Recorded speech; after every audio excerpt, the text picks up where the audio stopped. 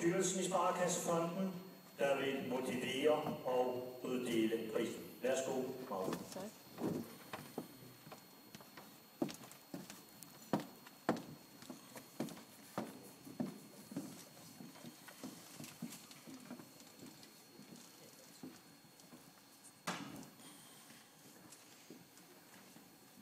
Ja, så kommer det til noget spændende noget. Det Sparkassen Bornholm Fond gerne vil udlevere i år.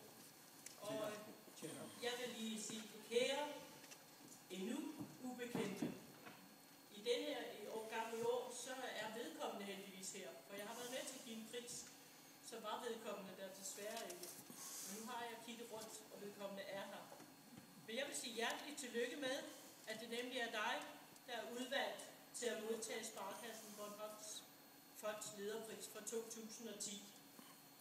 Du er en visionær og initiativrig formand for en klubs afdeling, og du har på afgørende vis fået en helt ny målgruppe til at opdage glæden ved at dyrke motion.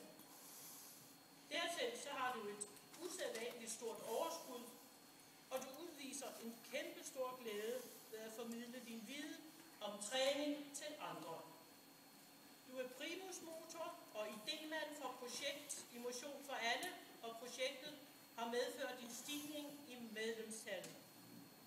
Du har en meget stor fokus på at få nye til at fortsætte med at dyrke motion.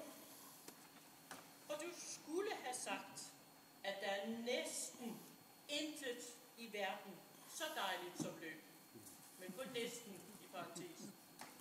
Nu kan der vist ikke være nogen tvivl omkring, hvem der får årets pris. Mon Claus Clausen vil komme herop. Det bliver meget.